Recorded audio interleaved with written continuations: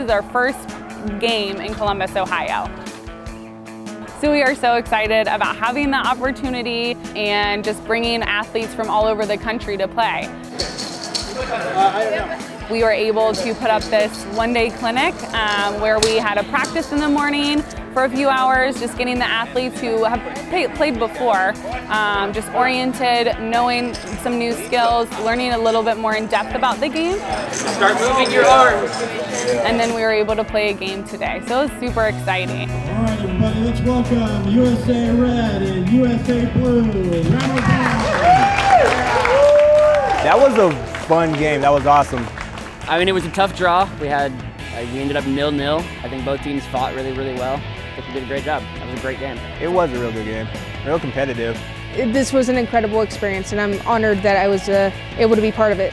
The game is 40 minutes long and you're running that entire time. So you really need to be working out and conditioning in, in you know the times that you're not playing so that you will be ready when you are playing. One water thing on each side and then they Katie Smith came on board with our therapeutic recreation program with Columbus Recreation and Parks and uh, brought this new sport in and you know got recruited, got everybody involved, uh, is involved in the, with USABA at the national level.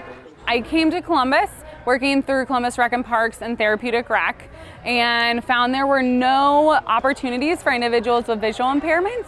So I decided to really connect with the community here and found out about blind soccer through United States Association of Blind Athletes and they had a camp in Maryland. So I went, attended, heard all about blind soccer and um, decided to bring that here to Columbus. I uh, found out about blind soccer. Um, Katie Smith, the person who put this clinic on today, um, and she's the one who got me involved with blind soccer. I also play blind hockey and go downhill skiing. Katie Smith, my blind soccer coach, organized an event in October of 2018 for Blind Sports Month. Uh, that it was an exhibition where you could come out and learn about blind soccer. I'm very glad I did because I was hooked from the very beginning and I've played ever since then, so a little over three years now. Since we started in 2018, we have just grown our um, blind soccer team. Um, we are continuing to do it. It's the Ohio Blind Soccer uh, program here in Columbus. I'm just so excited that it's here. I mean, we- uh, anytime we can bring something new to Columbus and, and make it happen and, and within the community for people with disabilities, we're all in. So. In the blind soccer game, there are rules differences that referees need to be able to enforce versus the sighted game that has a lot more open, they're easier to define. Uh, some of the rule differences, the goalkeeper only having a little bit of space to be able to pick up the ball, and some of the ways that they cluster, you're watching for a little more hands and understanding that they're not doing anything on purpose as far as running around and, and maybe putting their arms out. Whereas in a sighted game, this would be potentially a foul. This is them making sure that they're staying safe. So I like the challenge because we're all blindfolded, so we all have like the same amount of vision, which is nothing. And so it's really testing your communication skills of being able to communicate with your team members and other the other opposing uh, team to make sure that like you guys don't run into each other, but also get the ball. And I think it's just super challenging, but it's really fun because I'm super athletic. I would say communication is also a very large part of it because you have three other teammates on the field with you, in addition to your coaches and your goaltender. And all of you need to be communicating because when you're running, you need to keep your positions, you need to know what everybody is doing so that you can work in a cohesive manner down the field and try and score when you're on offense and try and defend when you're on defense. And then it just gets down to the soccer skills themselves, like dribbling, if you can't dribble, you're not going to get very far in this game. But then, of course, you also need to learn how to pass and to shoot.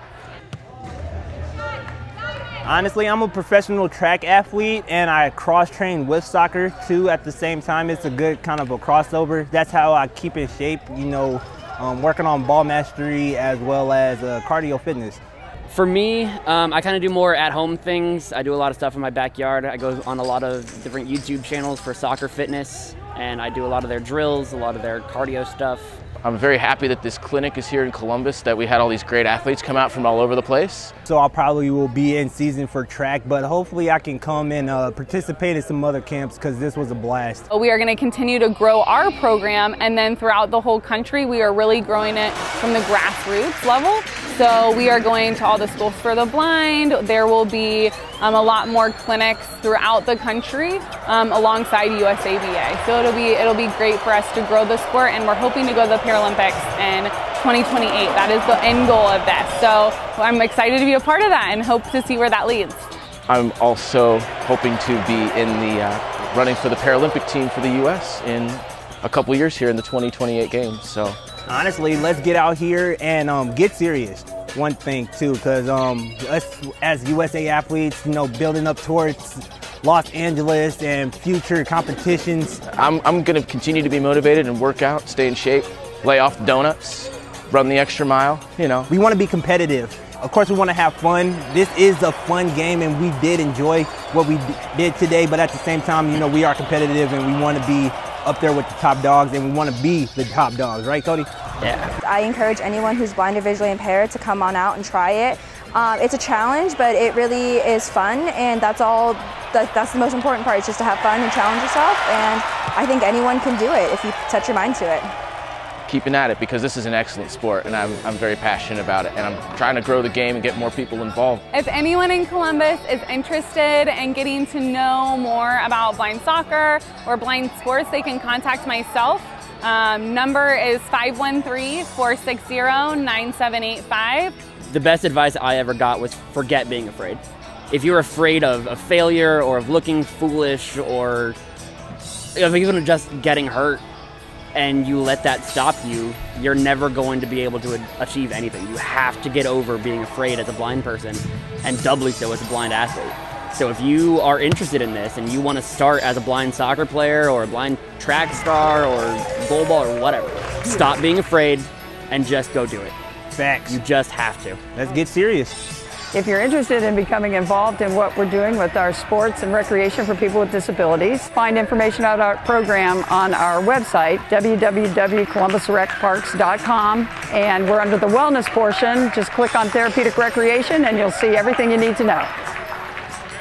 If you know someone who's blind, uh, definitely get them involved because we'd love to have you.